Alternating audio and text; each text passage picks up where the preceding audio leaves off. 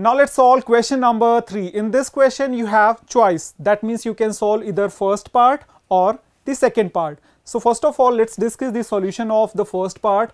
That means here this question is from introduction to trigonometry. Now let's solve this question. This is the given equation.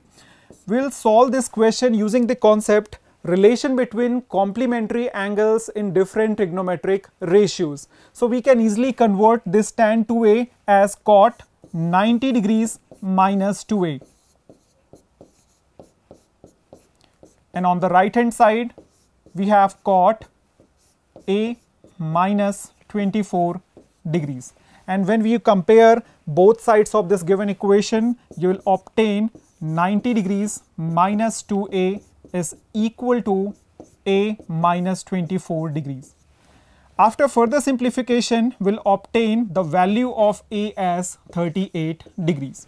So this is the answer for this question. And this step will give you half mark for this question and the final answer will give you rest half mark for this question. I hope you understood. Now let's move on to the optional part of this question. Again this question is from introduction to trigonometry. This is very simple and straightforward question based on the trigonometric identities that means sine square theta plus cos square theta is equal to 1. Now let's solve this question. This is the given expression. So simply we can write sine square 33 degrees plus sine square. We are replacing this 57 degrees by 90 degrees minus 33 degrees. So Using the concept complementary relation between different trigonometric ratios, we can replace this sine 90 minus theta by cos theta. So in the next step, we are obtaining sine square 33 degrees plus cos square 33 degrees. So clearly we are getting the first identity sine square theta plus cos square theta. So this is equal to 1 and this is the final answer for this question. That means the value of this given expression is 1. Now come to the marking scheme. This step will give you half mark and this final answer will give you rest half mark for this question. I hope you understood this question. Now let's proceed to the next one. Now let's proceed to question number 4. This question is from arithmetic progression and the question states how many two digit numbers are divisible by 3. That means in this question we have to find all two digit numbers which are divisible by 3.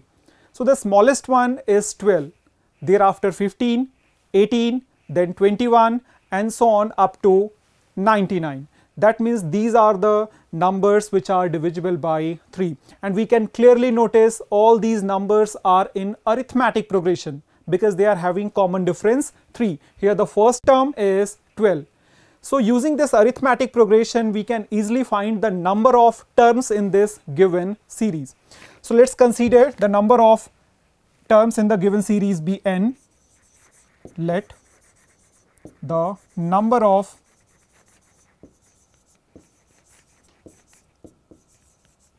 terms be n.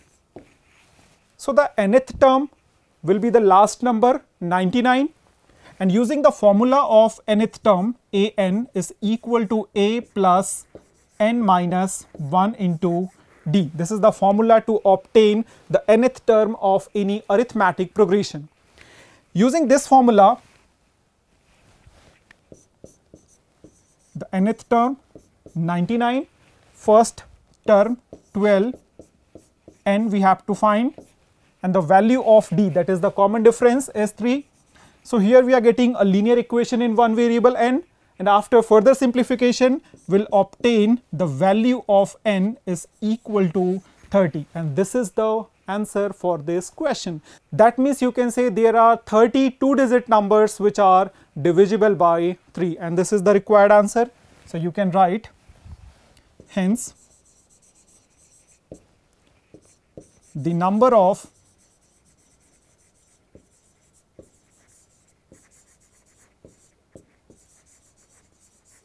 two digit numbers divisible by 3 is 30. This is the final answer for this question. Now come to the marking scheme.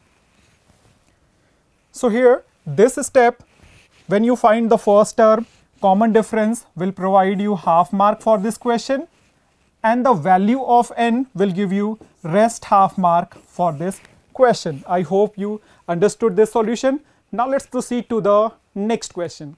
Now let's discuss next question that is question number 5. This question is from chapter triangles and the question states in figure 1 DE is parallel to BC, AD is equal to 1 centimeter and BD is equal to 2 centimeter and this question further states what is the ratio of the area of triangle ABC that means complete triangle to the area of triangle ADE. Now let's solve this question. So we are taking the same diagram and in this diagram DE is parallel to BC that means angle ADE is equal to angle ABC corresponding angles.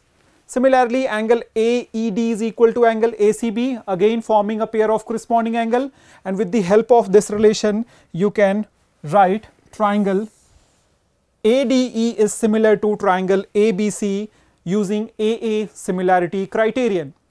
And friends, you have studied in chapter triangles, the ratio of area of two similar triangle is equal to the ratio of the squares of their corresponding sides. This is very important theorem. So using this theorem, you can further conclude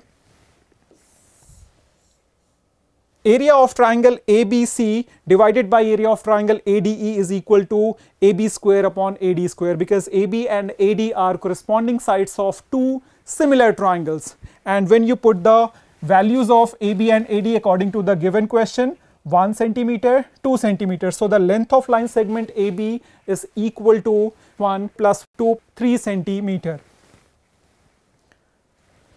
so you can further write 3 upon 1 whole square that means 9 upon 1.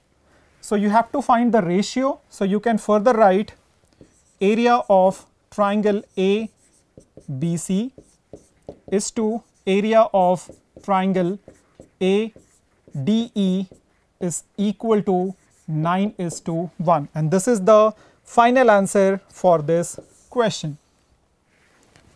Now come to the marking scheme.